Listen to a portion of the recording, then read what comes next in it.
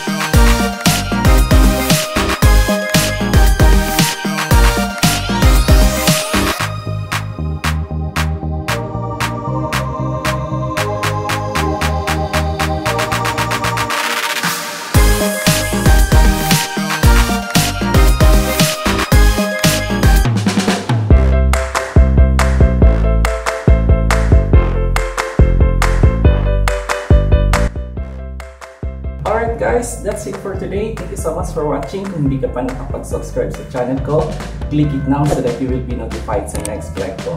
Bye-bye! See you on my next vlog.